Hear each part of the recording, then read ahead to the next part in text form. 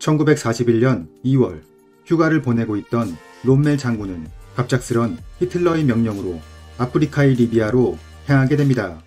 당시 리비아를 식민지로 두고 있던 이탈리아군은 이집트를 공격해 자신들의 세력을 확장하려 하였지만 오히려 영국군에게 반격을 당하게 되면서 리비아 영토의 상당 부분을 상실한 상태였습니다. 당황한 이탈리아는 독일에 구원 요청을 보내게 되고 이에 독일은 롬멜을 보내 영국군을 막도록 했습니다.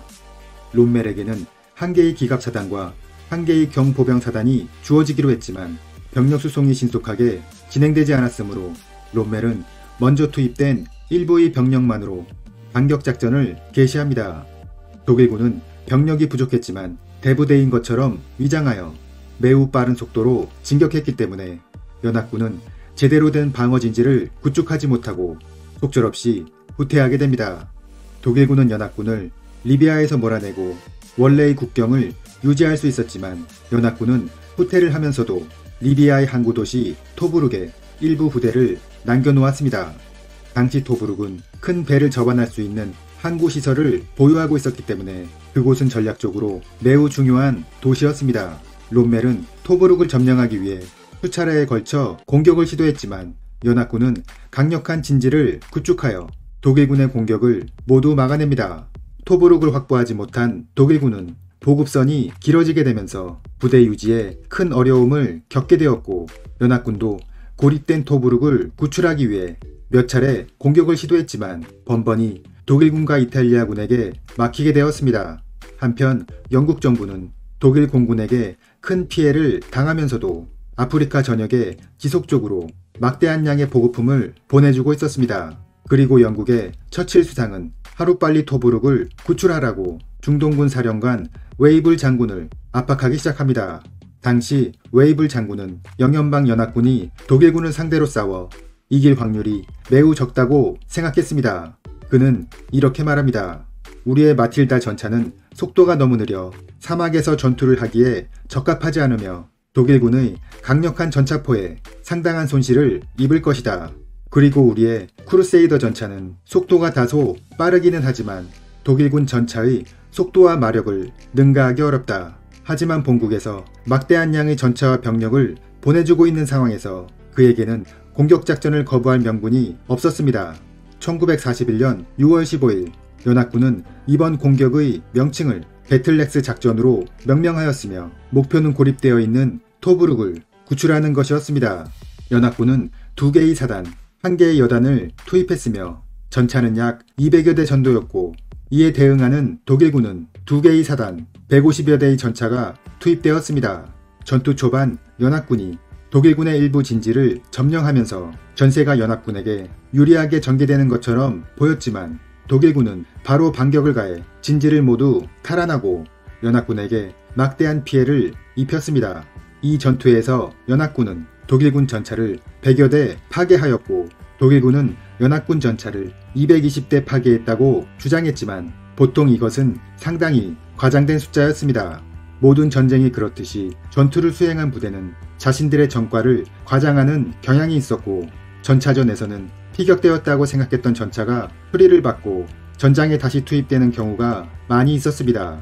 이 전투에서 실제로 피격된 전차는 연합군 전차 87대, 독일군 전차 25대였습니다.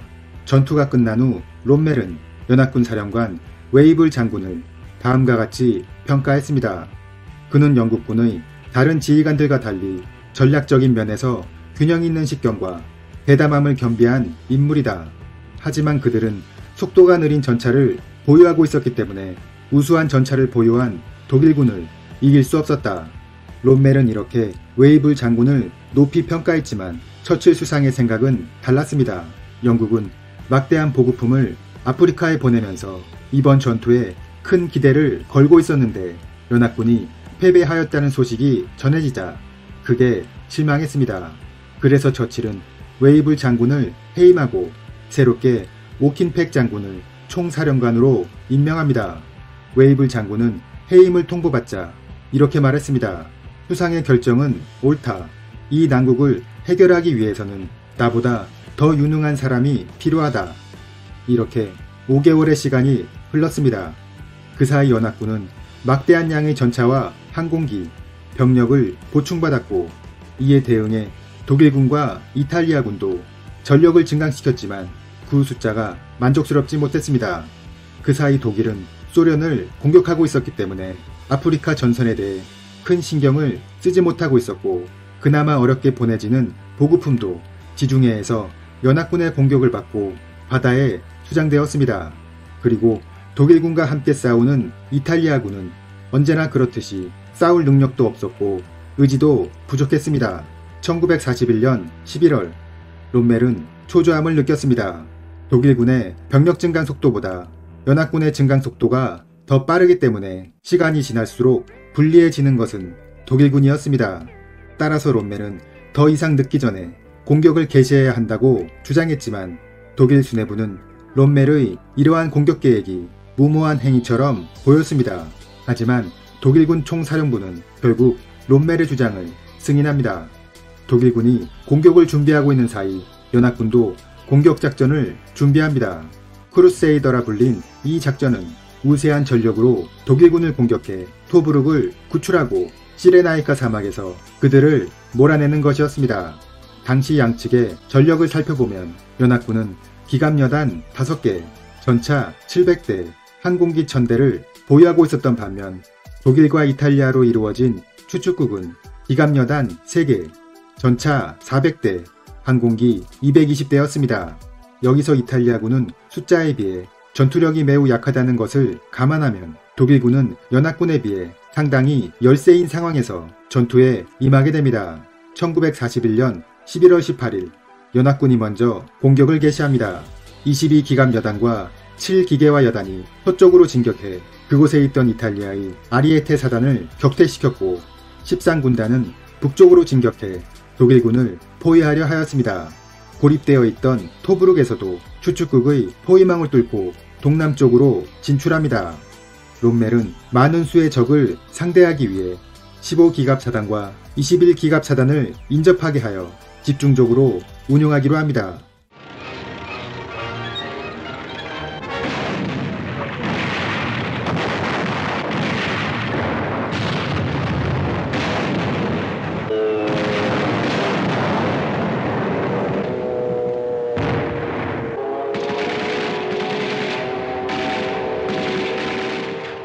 연합군과 독일군 전차들은 사막에서 대규모 전차전을 벌이게 됩니다. 결과는 독일군의 승리였습니다. 독일군 전차는 속도와 성능, 전차병의 능력에서 모두 뛰어났기 때문에 연합군 전차의 피해는 늘어만 갔습니다. 연합군은 뒤이어 4기갑 여단을 투입했지만 역시 독일군을 이길 수 없었고 오히려 여단장이 포로가 되었습니다. 롬멜은 포로로 잡힌 영국군 장교에게 이렇게 말했습니다. 당신들은 우리에 비해 두 배나 많은 전차를 가지고 있다. 하지만 전차를 축차적으로 보내 독일군과 싸우게 한다면 수적 우세는 아무런 의미가 없게 된다. 당신들의 실패 원인은 지휘를 잘못했기 때문이다. 크루세이더 작전에서 독일군이 주장한 연합군의 피해는 다음과 같습니다.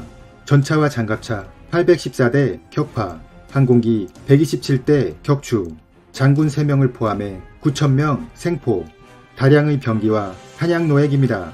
이렇게 하여 연합군은 원래의 위치로 후퇴하였고 토브룩은 다시 고립되었습니다.